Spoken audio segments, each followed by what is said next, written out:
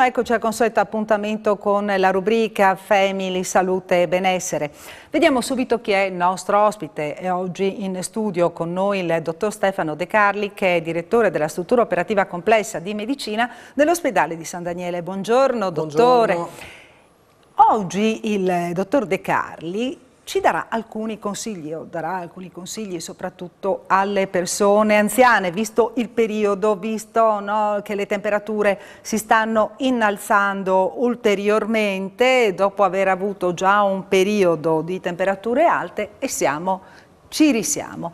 Quindi in questi periodi gli anziani arrivano più frequentemente in ospedale? Beh, sicuramente il periodo... Si scatenano tante patologie, no? Col caldo. Ma si scatenano tante patologie, ma in particolare proprio lo stesso caldo che può eh, comportare del peggioramento dei pazienti che abbiano già eh, problematiche, sia direttamente legato al fatto che le alte temperature possono eh, peggiorare le condizioni cliniche del paziente, sia indirettamente perché eh, I farmaci, spesso che prendono i pazienti, eh, risultano mh, comportare degli effetti collaterali, da una parte eh, magari con il diuretico ad esempio, mm. eh, provocare la disidratazione, oppure eh, sono farmaci che alterano la termoregolazione quindi conseguentemente possono ulteriormente peggiorare quelli che sono gli effetti del caldo.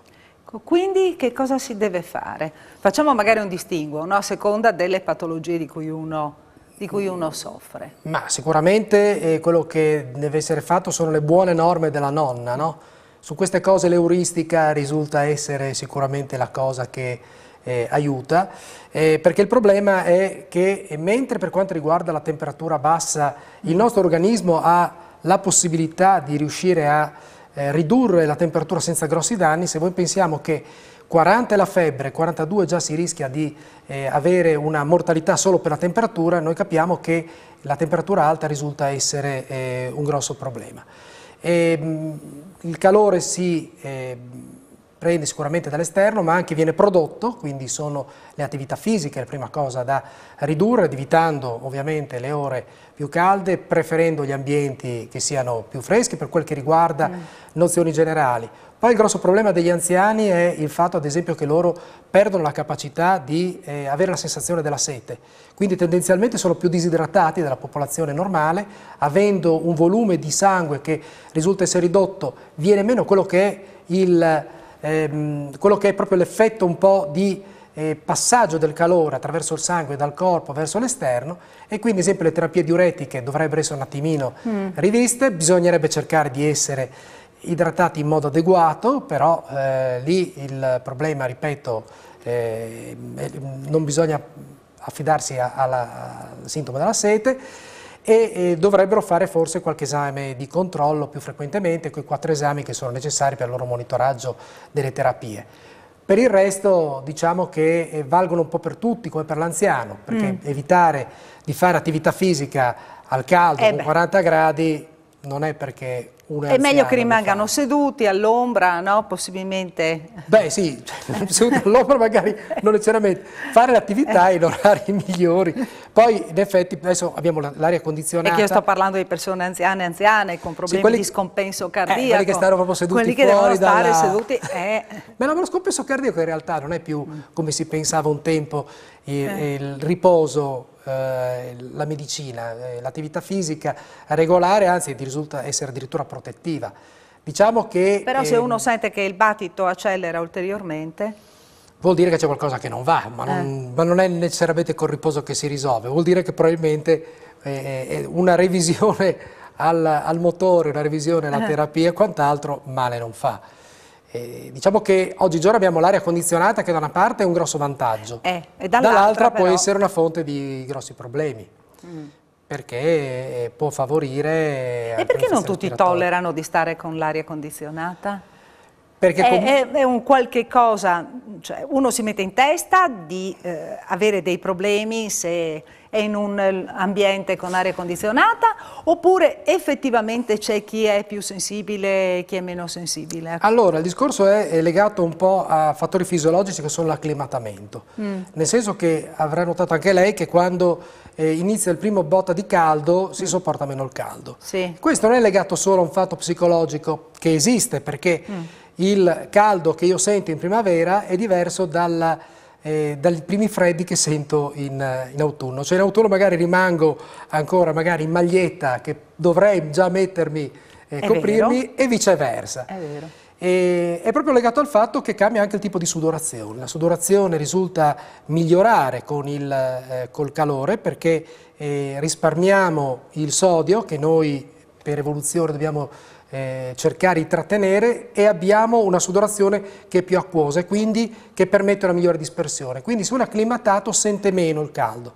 Il discorso che facevo prima, ad esempio, mm. non è solo gli anziani, ma anche alcune persone, anche geneticamente, mm. sudano di meno, tendono a sudare di meno, quindi a disperdere meno il calore. Quindi sopportano meno il caldo e quindi conseguentemente questi eh, preferiscono magari eh, l'aria condizionata. Poi è anche un fattore di, di, gusti, cioè se tu sei abituato a temperature più, più alte è ovvio a che... temperature polari. Polari il minimo di calore bello vedere eh, in alcune me, cosiddette mezze stagioni, anche se dicono che non esistono più, ma secondo me eh, probabilmente esistono ancora, anche se variate, che si vede proprio tutta la, la cipolla del vestiario eh. in, in, scena, da quello che è in Bermuda a quello che ha il giubbotto. Mm.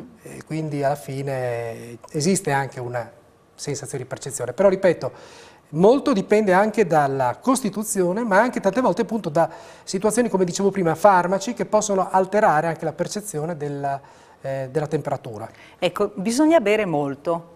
Gli anziani, quantitativo, quanto devono bere? Allora, il problema è se eh, una se persona... soprattutto fanno diuretico. Eh, appunto, il problema è se una persona ha o meno patologie. Se l'anziano sano eh, deve bere adeguatamente, eh, poi il il quantitativo eh, dovrebbe essere appeso, però è inutile fare dei eh, conti perché sono comunque mh, spanometrici, se non facciamo sì, prescrizioni. Certo. Il problema del, dell'anziano magari che ha lo scompenso cardiaco, da una parte eh, deve stare attento, magari riduce un pochino quello che è il, eh, o meglio scusate, può aumentare un pochino quello che è l'introito consigliato, normalmente l'introito consigliato in uno che ha uno scompenso cardiaco è intorno al litro di acqua al giorno, mh, può tendenzialmente prendere qualcosa di più, magari si riduce il diuretico, ma questo bisogna farlo in, eh, sicuramente con il medico. Certo. Però eh, dire che uno perché prende il diuretico deve bere di più, eh, si rischia di far più danno che, che beneficio.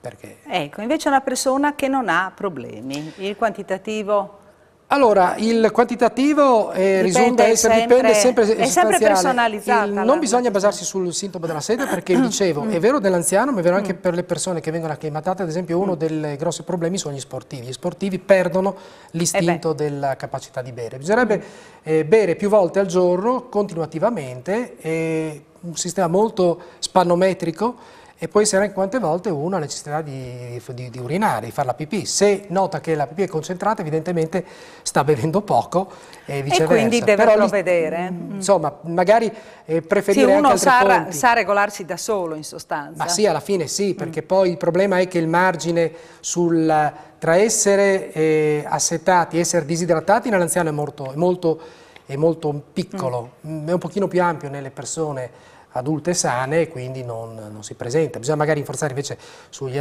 sugli, anziani, ma soprattutto sono i bambini che bisogna incoraggiarli mm. a bere. Il sole? Eh. L'esposizione al sole. l'esposizione al sole diciamo che eh, ci sono due tipologie di problemi, uno è legato all'irradiazione solare legata Da una parte va bene no, perché eh, fa bene sì. alle ossa, no? dall'altra Fa bene perché sviluppa vitamina mm. D, quindi sì. Sicuramente poi i filtri di protezione Abbiamo tutti permettono... bisogno di vitamina D, no? più si va avanti con l'età Assolutamente, poi alla fine risulta comunque per quanto uno faccia una vita all'aperto risulta mm. essere insufficiente mm. quello che molto spesso eh, perché poi richiederebbe un'esposizione anche di una buona superficie del corporea più volte, eh, più volte durante l'anno e questo non è sempre presente. Diciamo che fa bene, il problema non è tanto è legato sia alla possibilità poi di sviluppare eh, neoplasie della cute se non si sta attenti perché bisogna certo. utilizzare i filtri solari, eh, ma anche l'invecchiamento della pelle. L'altro problema è proprio il calore, perché appunto tendiamo ad accumulare calore e, mm, e, questo soprattutto, dicevo, facendo attività fisica perché abbiamo da una parte la ricezione del calore e dall'altra la produzione, noi abbiamo un grosso problema soprattutto di dispersione del calore, anche in condizioni ambientali apparentemente favorevoli il calore eh, si sviluppa perché il nostro metabolismo lo, eh, lo, lo determina. Quindi il sole in effetti eh, ha sicuramente dei benefici, però eh, il sole, soprattutto in queste giornate, bisognerebbe cercare un pochino di, di limitare l'esposizione. Ecco, vitamina D, sì. come appunto eh, dotare l'organismo del corretto quantitativo di vitamina D? Ma sulla Pastiglie? Vitam prendere medicinali? Ma allora, la vitamina D è un um, discorso un po' eh, molto dibattuto, nel senso eh, che infatti. per quanto riguarda il metabolismo osseo vero e proprio, eh. la quantità di vitamina D non è eh, necessario un elevatissimo quantitativo. Diciamo che i valori per cui viene considerato opportuno prendere vitamina D sono delle evidenze scientifiche che sono eh, presenti per cui sembra che eh, migliori eh, alcuni, sia protettivo nei confronti di alcune malattie, eh, ad esempio nel caso della bronchita cronica mm. Ehm, oppure in altre malattie croniche, può essere utile avere un eh, un quantitativo di vitamina D che spesso noi oggigiorno abbiamo in modo insufficiente. Sicuramente quello che viene eh, assunto attraverso la cute risulta essere benefico, ma in alcuni soggetti, soprattutto anziani, anche per la presenza di patologie, ma anche di farmaci che vanno mm. a inibire eh, l'assorbimento della stessa, risulta essere eh, a volte insufficiente. Mentre per quanto riguarda il calcio, eh, bisognerebbe tendere a preferire l'assunzione attraverso l'alimentazione, non la supplementazione, perché la supplementazione molto spesso non viene tollerata.